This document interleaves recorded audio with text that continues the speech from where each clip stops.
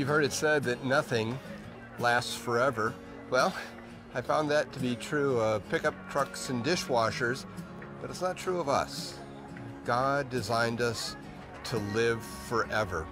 And this lampstand, the menorah, reminds me of that. The first time we read about it is in Exodus 25.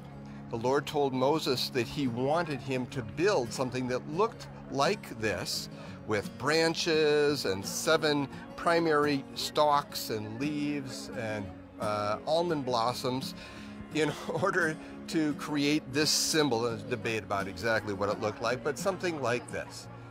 One of the roles it played was to give light in an otherwise dark space. But why the shape of the tree? I think it has to do with the fact that this was a symbol of the tree of life that we find in the Garden of Eden. Remember that tree? Adam and Eve ate from the tree of the knowledge of good and evil, and when they did, when they had fallen into sin, the Lord said, I'm not going to let you eat from the tree of life, and they were asked to leave the garden. But just because they sinned didn't mean that humans stopped being eternal.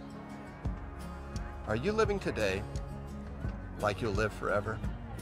And I forget that an awful lot because my attention goes to the things that I need to get done today or this week or this month or this year. And when I make those choices, I'm making choices that also impact my eternity. Here's what I love about the Bible.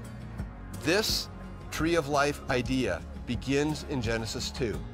It's carried throughout the Old Testament and into the New Testament as the menorah, the symbol for the tree of life and it shows up again in the very last chapter of the Bible, Revelation 22, reminding us from the first to the last book of the Bible that we are eternal beings.